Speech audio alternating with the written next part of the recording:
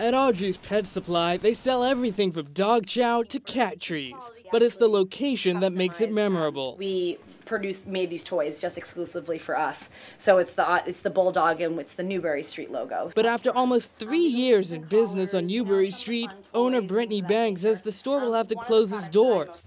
Back in October, she got the unwelcome news from her landlord, Lanier Retail. It was very cut and dry. It was, you know, we we appreciate you being our tenant, but at this time we have different plans and we are going to have to raise your rent. Raise the rent they did, a staggering 133%. It's crippling, it's devastating, and it's just something that we just couldn't even possibly begin to absorb and keep our doors open. No business can absorb that. Well, one business could Yogurtland, the frozen yogurt chain.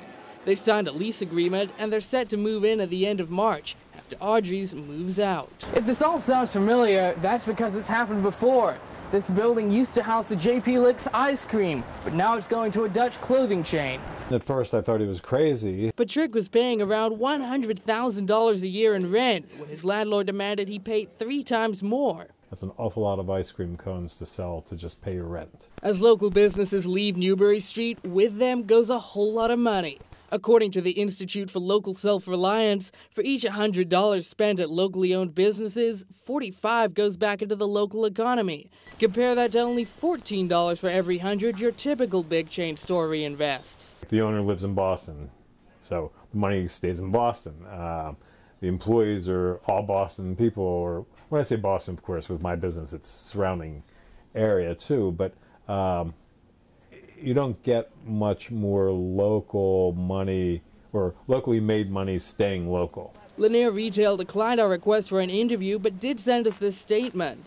As Audrey's landlord, we too are sad to see that they are leaving the Newbury Street area.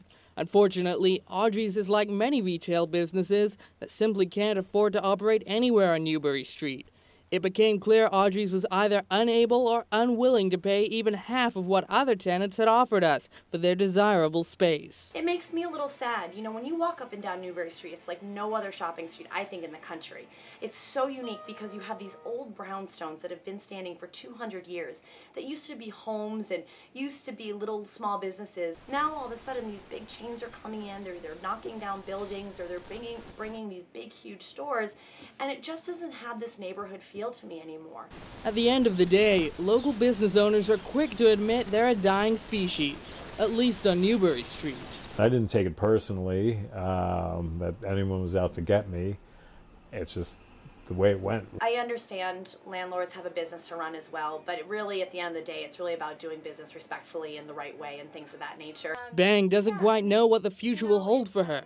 Says she's certain about one thing. I know at least Audrey's at 296 Newbury Street cannot be saved. We know that. It has been rented out to a new tenant already, um, so we cannot stay here. In the Back Bay, Luke Jones, BUTV.